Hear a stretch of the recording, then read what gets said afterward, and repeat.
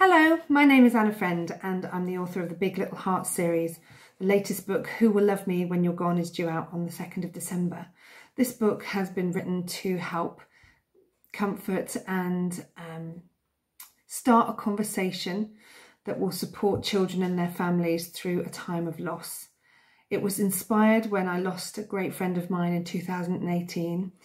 Um, watching her face her own terminal diagnosis was um, inspirational. She was fierce, she was funny, and she was honest. And it led me to think about whether or not there was something I could write that would help support families and carers, communities at a time when they needed to have the most difficult of conversations.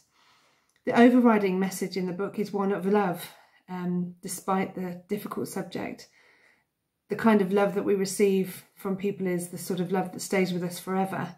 And for me, and watching my friend face her own mortality left me with this overwhelming message of love and how it continues beyond physical life. Um, and so my wish for the book is that, is that anyone who needs to hear that message, that love continues, that love stays with you and is like a fire that can continue to help you grow and understand life and love yourself will find this book and that that in turn will provide them with comfort. Um, that's my wish.